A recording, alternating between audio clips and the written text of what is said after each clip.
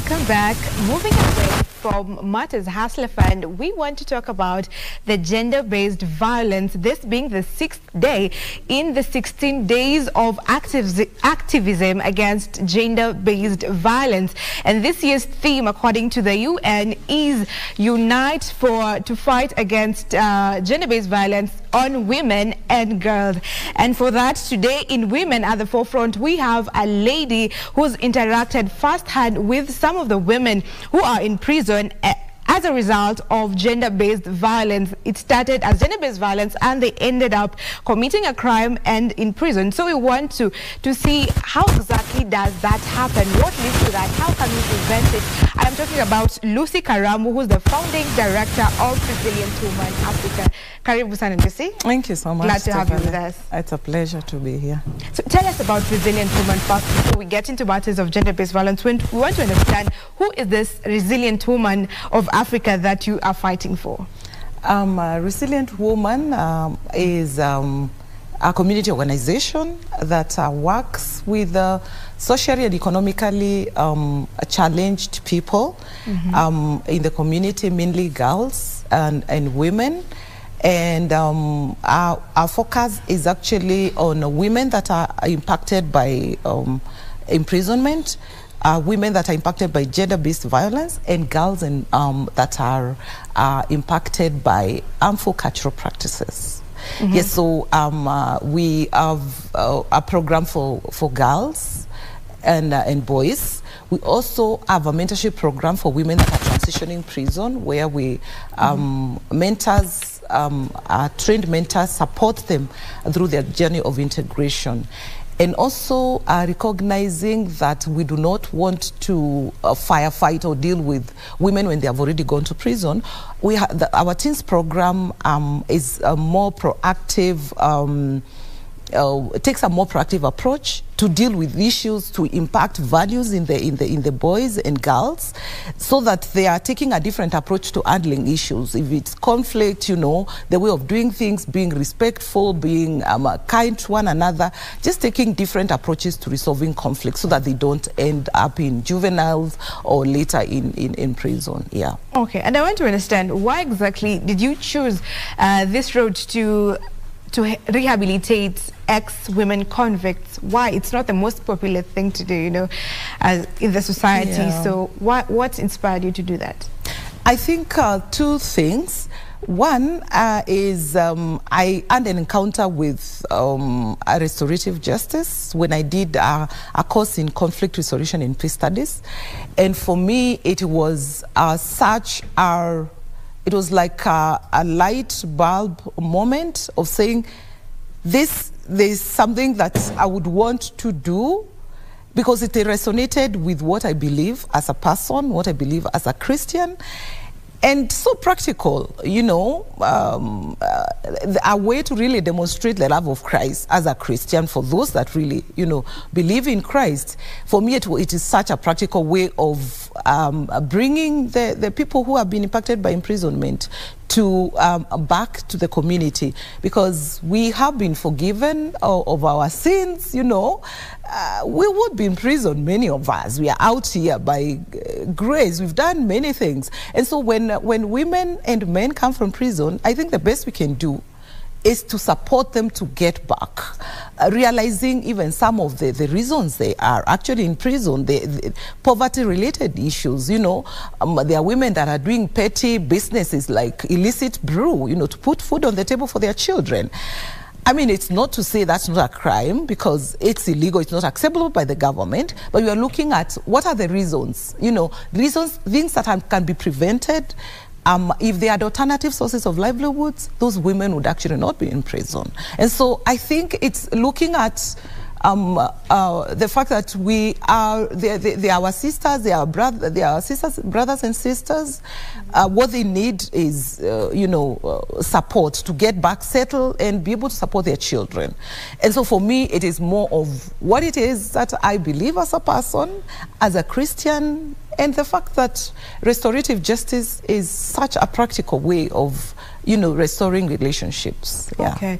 And you've yeah. mentioned that uh, most of the women there, or at least some of the women, uh, I get into prison because of petty crimes, out of poverty, things that, you know, can be easily forgiven or solved rather yes. if something is done to them. But what of other serious cases like murder? Have you encountered women who have, you know, gotten into prison out of murder and from a background of gender-based violence?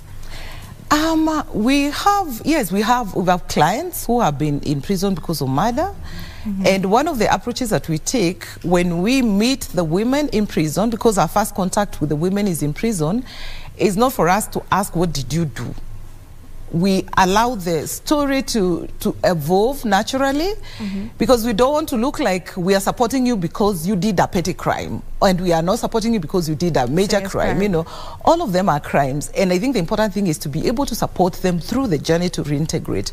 So we have them and currently we actually have um, uh, two uh, people, a man and a woman in Kericho prison. Um, one killed, uh, the woman killed the husband because of, of uh, infidelity issues, and they're in prison.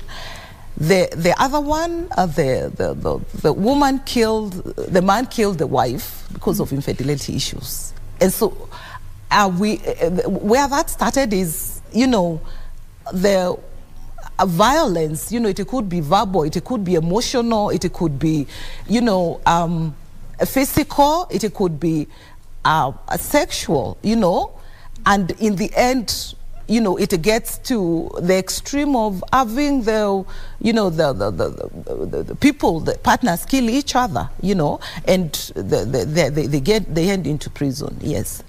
Okay, but so now what, the, the root cause you've said is violence can be violence. Yes. At least. So there is gender-based, it starts at home and then it gets to a, a, place where they get to prison. It gets serious where someone dies because, you know, the situation got out of hand. Yes. So what needs to be done for, to prevent these women who go into prison because of killing their husband out of infidelity or maybe of, out of one reason or the other because they couldn't maybe find help out here and that's the only resolution that they saw.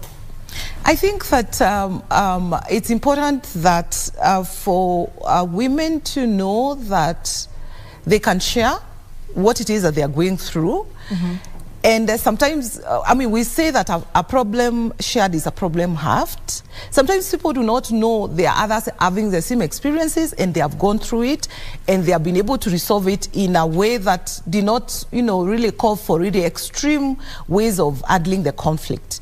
But for us, we are more proactive about this because we think that firefighting is, is not really going to help because, um, I mean, uh, uh, when we get to a point where, you know, there is uh, violence in the family, there is separation or extreme, uh, you know, partners killing each other, we are already, like saying now, we are dealing with it when it has happened.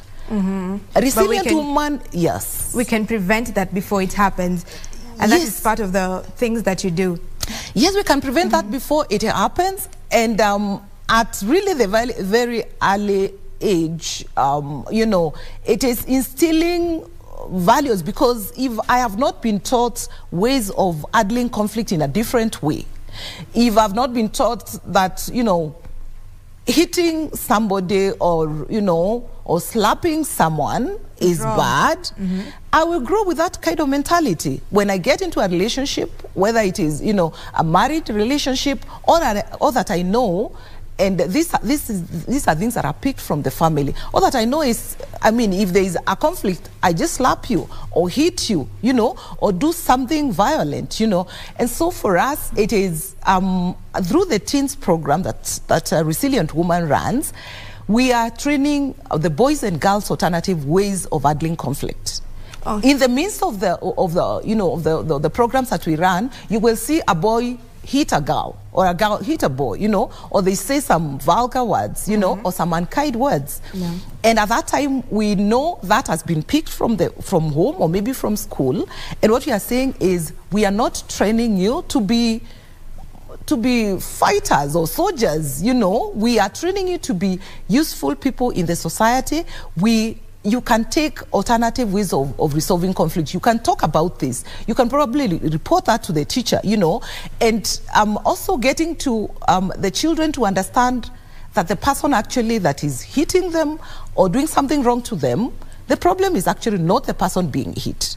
It's the, the person hitting is the one that has a problem. Mm -hmm. And so for them to really also be self-aware that there's nothing wrong with, with them now that somebody hits them or becomes violent, you know, verbally or whatever way they are violent, it is not with them. So self-awareness, mm -hmm. training, and for them to just understand, no, it, it, there's a way, there's a different way of resolving conflict, but also in a more sustainable way, because, you know, it, the, the link is not complete until we involve parents and teachers. Mm -hmm. Because if we are supporting children to be able to take alternative ways of handling conflict and the teachers are left out, and what the, the children will hear from the parents is, you know, um, uh, you are silly, you are stupid, you know, you can't make it in life. You know, that's, those, it that's cancels all. everything that you It teaching. cancels everything that we do. Mm -hmm. What about at home with parents? You know, you cannot also amount to, to, anything. Those are the words they are hearing. Or they see dad and mom just eating each other. Mm -hmm. And so coming, bringing the three together, parents, teachers, and, um, uh, you know,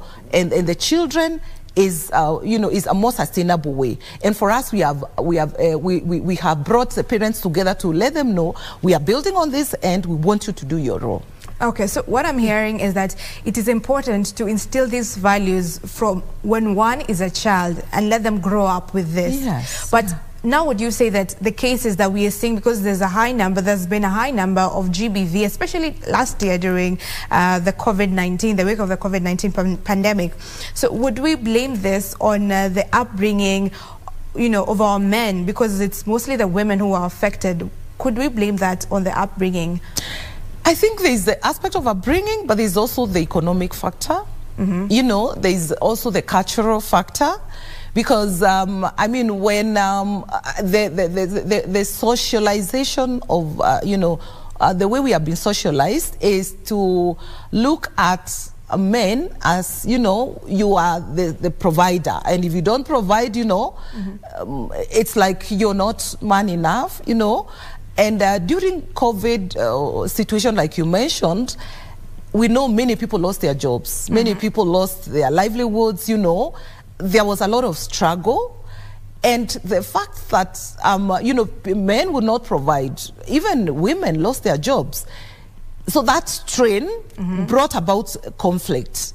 But you see, it also comes down to what do I do when I'm pressed, you know, when, uh, when the situation is not really good. How do I handle um, uh, emotion, strong emotions when, when, uh, you, uh, under, when I'm under pressure as a person, you know? Mm -hmm. How do I deal with this?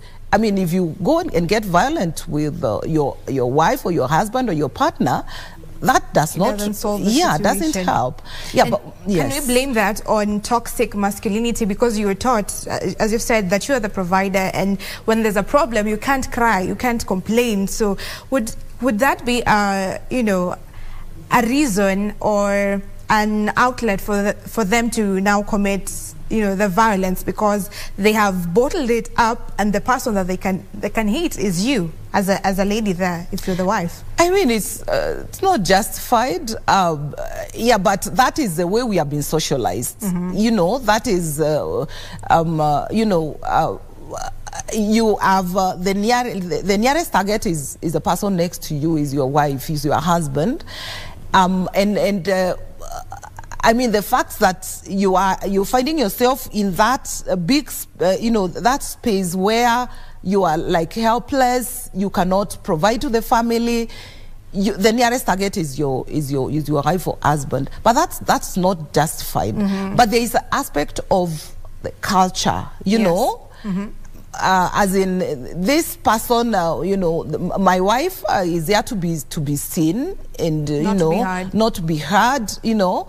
And if I am angry, I'm justified to hit them, you know. Mm -hmm. And in some cultures, it's still okay even till now to hit a woman. You know, you are there, you, you need to be corrected, you know. So that's how they have it. You, you should be corrected and the husband only beats you to correct you.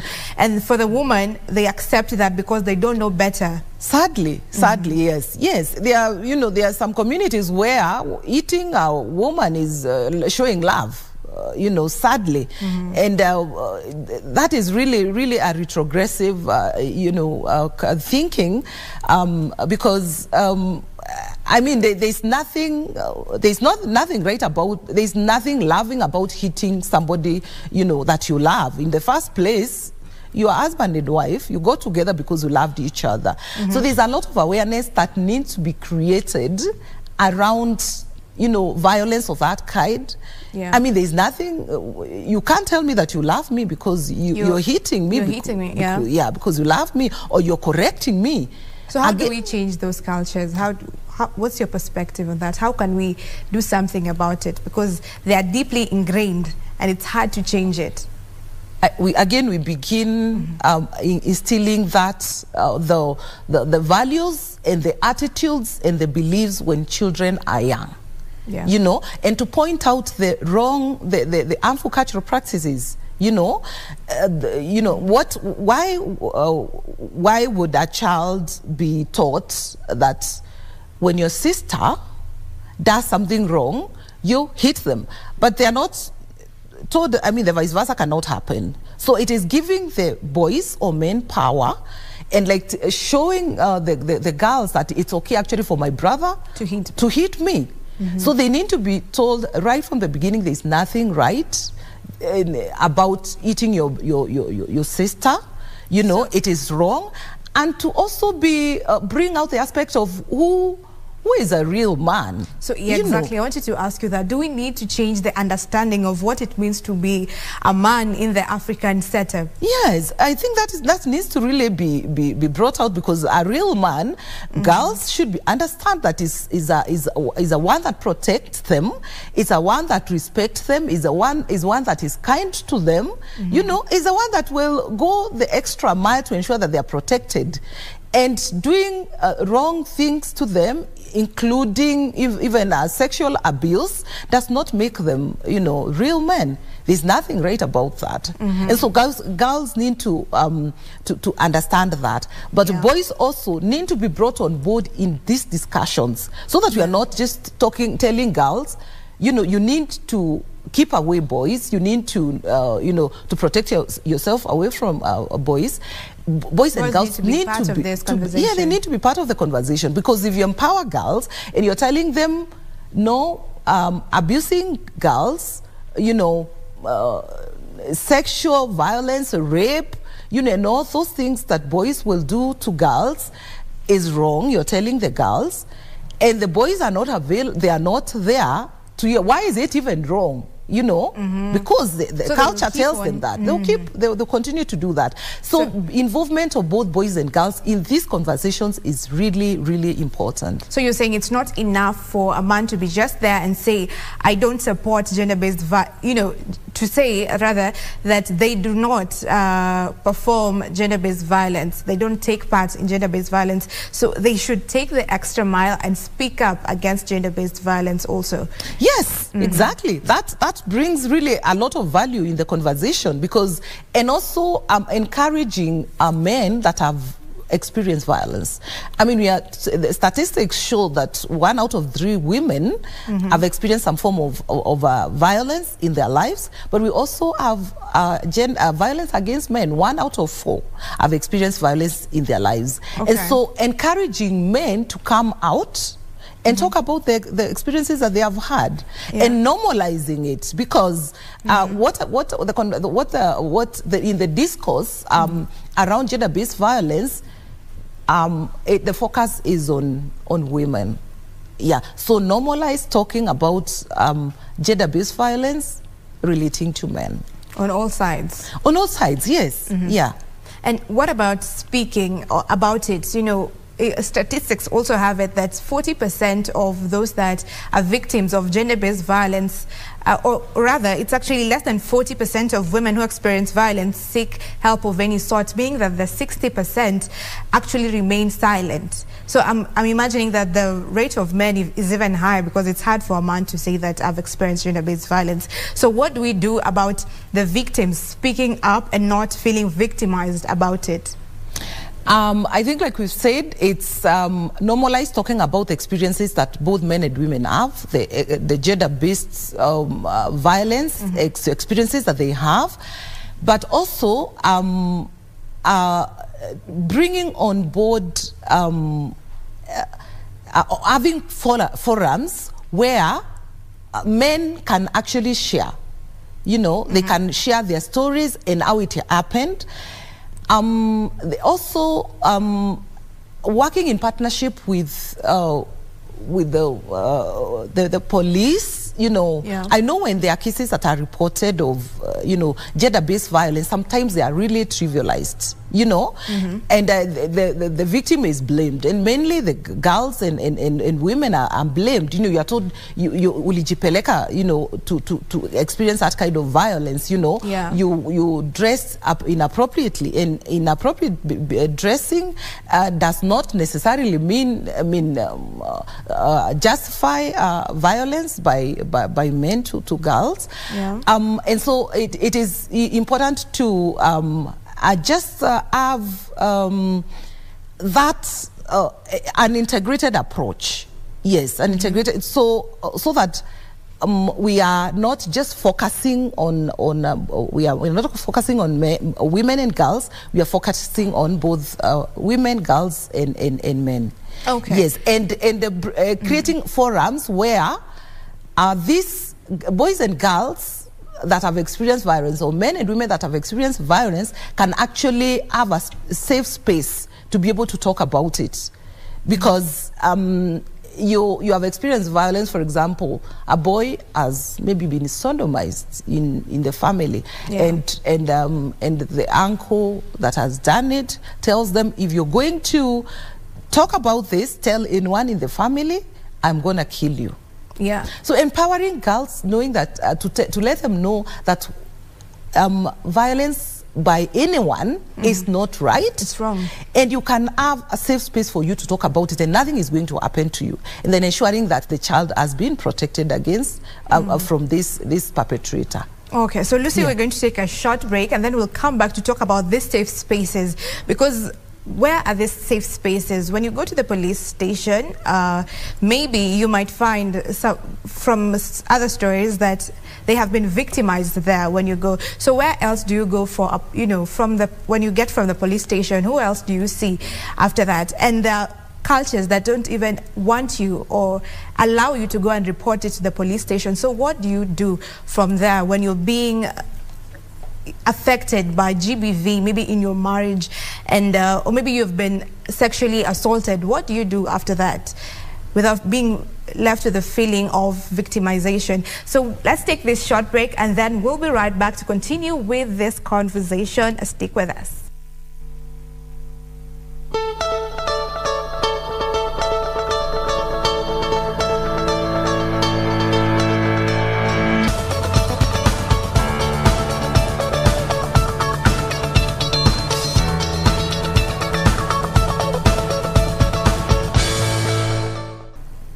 Welcome back. This is still Good Morning Kenya. Thank you for staying with us. We continue with the conversation on gender-based violence.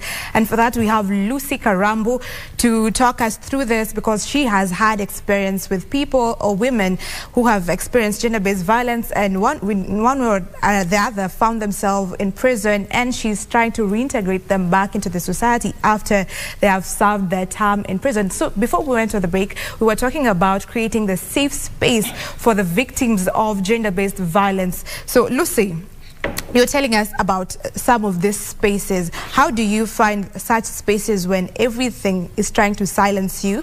Culture tells you, or your family, because of culture, tells you you shouldn't report on this because you won't find a husband. That is mostly in the rural setup, uh, because you won't find a husband. So, you, especially for uh, victims of rape, and for those that live in the urban setup, and you know that you can go to a police station, you go there, but you don't really get the attention that you want or the reception that you would wish for in fact, you are victimized for it. But I believe that there's some changes that are taking place now, even with the CS for Genders uh, actively say, uh, speaking against gender-based violence. So what do you think? What are some of these safe spaces? Um, uh, yeah, before I talk about uh, safe spaces, um, I, I just wanted to point out what uh, the aspect of culture, um, of, uh, you know, silencing. I think uh, some aspect of culture, some aspect of culture um, encourages us to just sweep things under the carpet and not, uh, you know, talk about things. And there isn't nothing, there, there's nothing right about that.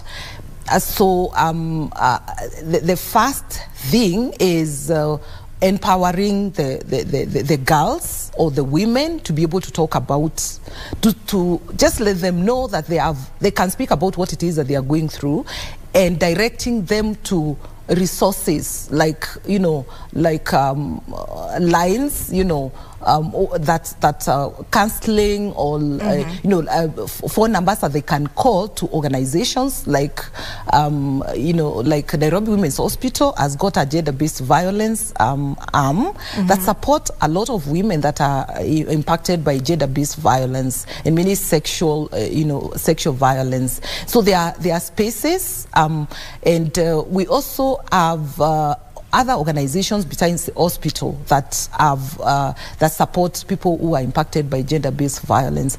So mm, the beginning is to create awareness and to speak about it. Um, to share information about what's happening and the resources that are available for the people who have been impacted by uh, gender-based violence. Okay. Yes. And would you say that social media is one of the spaces? How effective is social media in the fight against GBV? I think it is. It is because I think we've seen uh, we've seen um, a lot of issues highlighted through social media.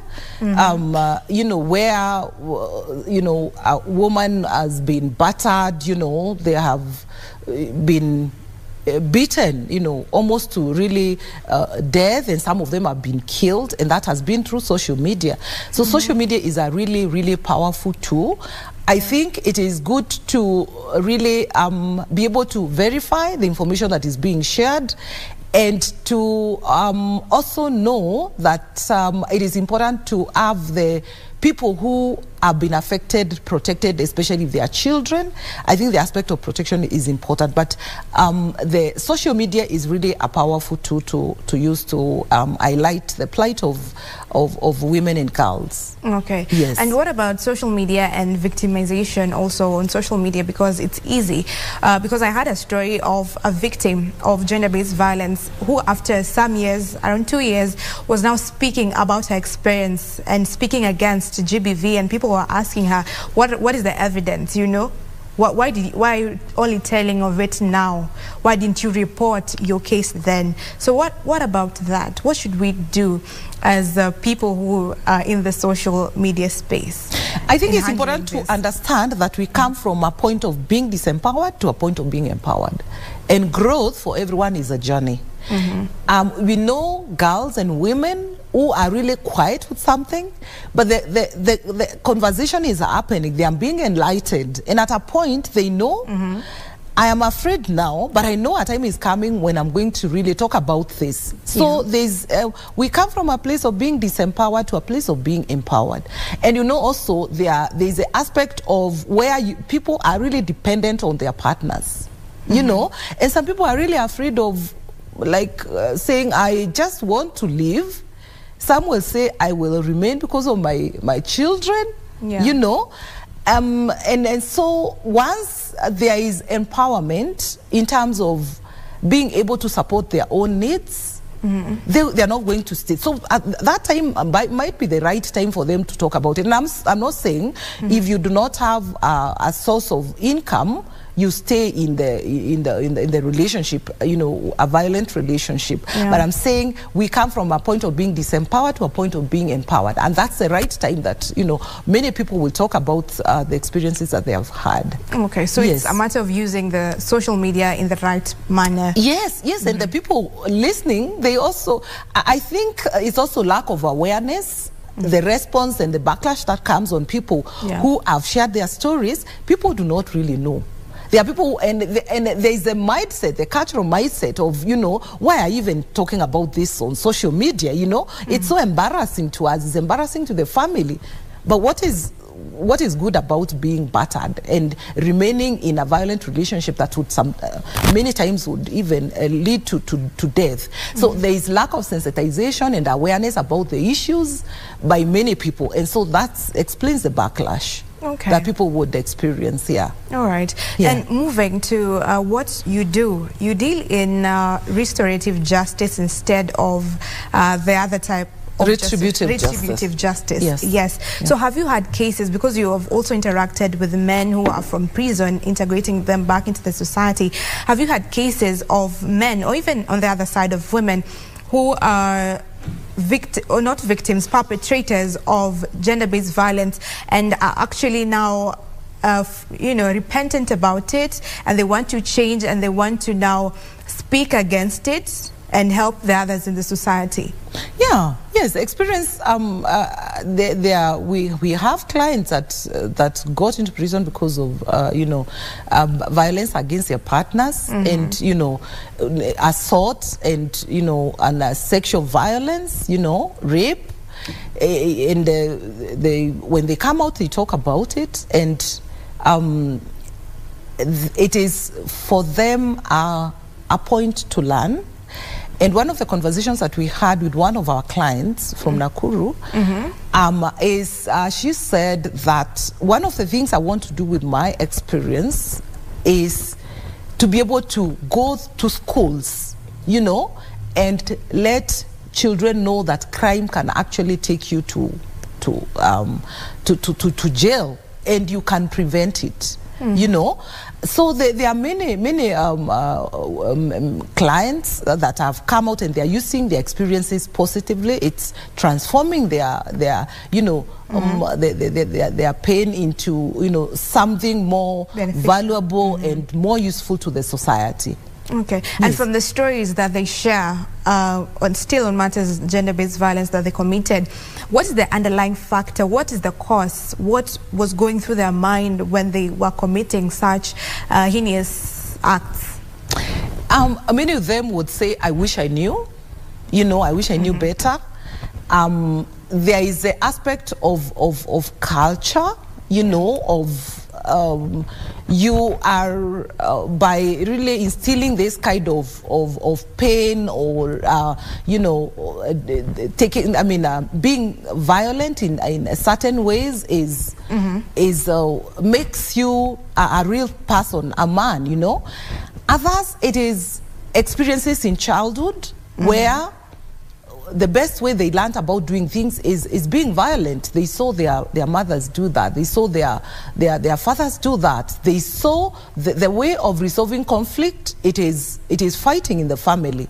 And so that was carried forward you know, and including even the, kind of the, the nature of relationship that that that our, our parents have between each other, you know, lack of respect to each other, you know, like being, you know, a strong person and hitting some someone and being sexually assault, um, you know, assaulting uh, s- sexually, Yeah. it's making somebody a. a a, a, real man, you know, and the, the, the, I, the, the knowledge or the, um, the kind of attitude around, uh, you know, um, if I sleep with with the, with the, girl, you know, that really makes me a A man. a man. Yeah. You know, that needs to to to to, to, to be really. Um, uh, there needs to be a lot of sensitization around that, and uh, for the boys to know that is actually disrespectful.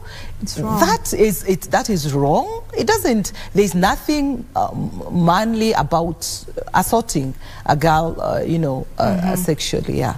Okay, and let us now go to the children, the effects that it has on children as they grow up, because you've said it's usually from a background of how you are raised. And you gave the recent case that you're dealing with of a woman who actually was the one who killed uh, the husband in sight, with, with the child on sight, you know? Yes. The- the yes. The child child was actually present. this. Yes. So what will that do to such a child in such cases?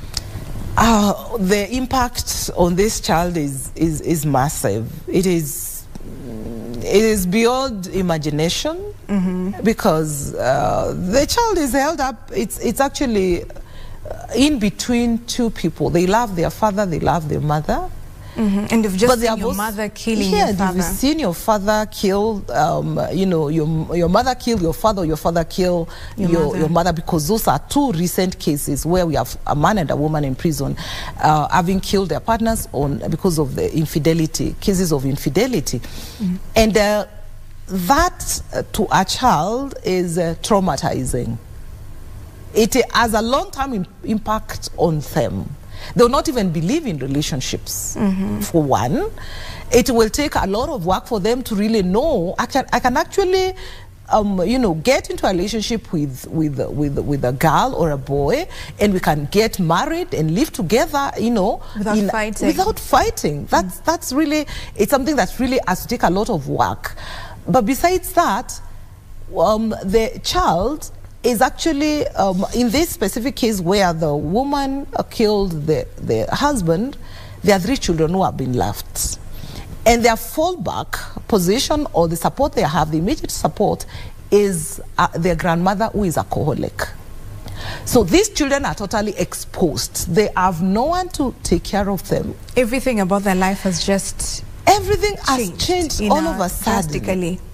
It is, it is, it is I, I, I don't know, it's, it's, it's, it's really painful. It is, um, it just tells us why it is important to, um, you know, to stop gender-based violence. Mm -hmm. Not just because of the partner's issues or uh, husband and wife, the children really, really suffer they, their life is totally affected. Their relationships is affected. affected. Their interactions with others is affected. Their self-esteem is affected. Their academic work is affected. The total Everything life of a child is really changes. affected. You know? Mm -hmm. Yeah, because now they are dealing with fear. You know, they are like, oh, my dad has gone. Now my mom is in prison. My grandma is My grandma is an alcoholic. So mm. who is protecting me? Who do so they it's, have? it's really it's um I just uh, gets to us to to just say um we are not focused. This conversation should actually not be just violence against women and girls. It is what does violence against women girls and men do have to children. children, you yeah. know? Mm -hmm. Yes, because the total, the, the, the, the aftermath is, uh, or the, the, the result, the consequences is directly impacting on Mm -hmm. on children. On children. Yes. And we can see a cycle from, the, I, I, believe that's when the cycle now picks up because this is what you saw and that's yes. the only thing you know.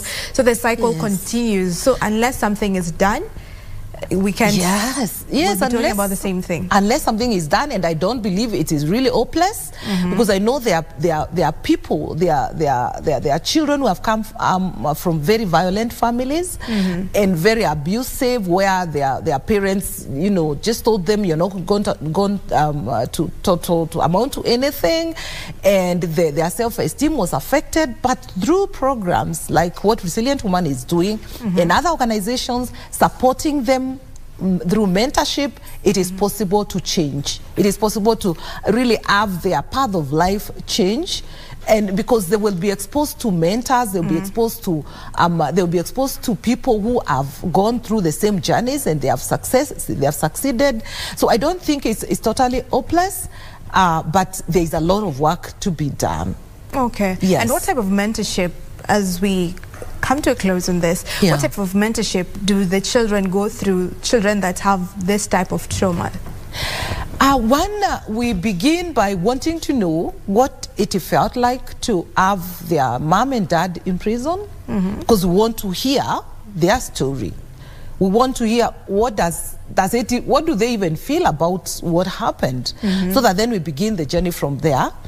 So our mentorship is around uh, just letting them know um, uh, to be able to come to terms with it, but also to know they have a support system.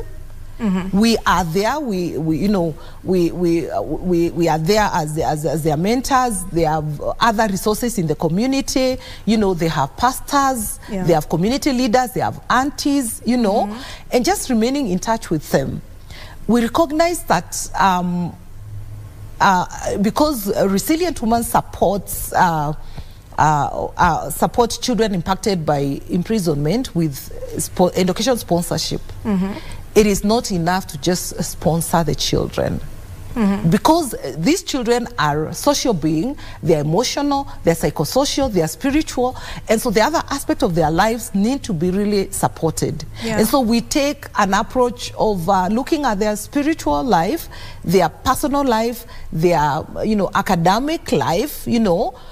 Um, every aspect of the child so that we are not just looking at a child as an academic object. Okay. Because you can have a, a guru, you know, who is really totally broken. Psychologically, they're yeah, they're okay. totally broken. And so we want mm -hmm. to to really like put that aside a bit, say we are supporting that, that's good enough, but we also want to look at the, the other aspect of the child so that this child is equipped for life mm -hmm. and be able to deal with the experiences that they have had, to look forward with hope, you know, to just know that mm, bad things happen, but I can make it because other people that I'm interacting with have made it. And that they're not their parents. Yes, and then also story. to know that they are not to blame for what happened, mm -hmm. and they can take a different approach to resolving conflict. Okay. Yes. And do you get them to, uh, do you mend their relationship with that parent? For instance, in this case where the mother committed murder against their father, do you help them in that relationship? Interestingly, mm -hmm. this uh, boy that witnessed the mom kill the dad, um, our uh, mentors and coordinators of the ground, they organized for them to go see the mom in prison, and he went. How was it? Uh, emotional, uh, because I think he's doing it from I love my mom, I love my dad. Mm -hmm. And so he's torn in between. Uh, but just getting to know that has happened, but they still are tomorrow for them, mm -hmm. and things can actually change. And um, they don't, they are not to blame for what happened because many times what happens is children say, you know, are now elder, they are, uh, they find themselves in between and saying, I will, if probably I am the one that caused this to happen. So um, it is just encouraging them to, um, uh, take a different way of, of, of, resolving conflicts, supporting them and counseling them, mm -hmm. because the, the, the, experience of uh, seeing uh, your, your dad killed, it is, it is traumatizing. It can be traumatizing. Yes. And okay, so why do you do this as we come to close again? Why do you do this? What fuels your passion? Um, because I think that I have a space mm -hmm and that space can only be filled by me. And they say that, you know, if you want, uh, you occupy, everyone of us can occupy their space to see the change that we want in the world. Mm -hmm. I think I love uh, seeing uh, people's situations change. I mean, it's such a joy to see a family that has been, been impacted by imprisonment coming back together again, children beginning to, to go to school, beginning mm to live together with, the, with, with their parents, uh, you know, um, and, the, and the women reintegrating into the society, getting social networks, beginning to, to really go to church, join chamas, you know, and begin to really uh, thrive again. Wow. I think for me that is really exciting. That's uh, very noble yeah. of you to do, and we're celebrating you today at, in Women at the Forefront. Finally, Thank you so what much. change do you want to see in matters gender-based violence? And as you close, you can give us your social handles. Um, uh, what changes do I want to see um, uh, in uh, matters gender-based violence? I think one is to talk more about it mm -hmm. and uh, to normalize talking about uh, the experiences, the violence that we experience at the family level, but focus on the experiences of men and bringing men and women on, uh, men and boys on board in the conversation because we are not going anywhere until we uh, sensitize men and boys. Because we need to understand what is in their mind. Why would a boy go raping a girl? Why would, you know, a man go hitting a, a, woman in, you know? So getting their mind is part of the conversation to be able to shape the programs that we are doing. Okay. Yeah, and uh, to what get to us, um, uh, Resilient WOA is our Twitter handle. Our Facebook is Resilient Woman of Africa and uh, in um, LinkedIn, Resilient Woman. Thank you very much, Lucy, for gracing us in this interview. Thank you very much. Thank you so much, uh, Stephanie. I really appreciate uh, right. you having me. Welcome. That Thank has you. been Lucy Karambu, the founding director of Resilient Woman, talking to us on how we can help in this fight of gender-based violence from the experience she has had with the women and men who have been in prison out of one of these reasons, gender-based violence. That has been a great conversation there. Thank you for staying with us. Uh, good morning, Kenya comes to comes to an end at this particular point. My name is Stephanie Yata, and on behalf of the team, we wish you a great uh, day ahead. Enjoy the rest of your viewing. Bye-bye.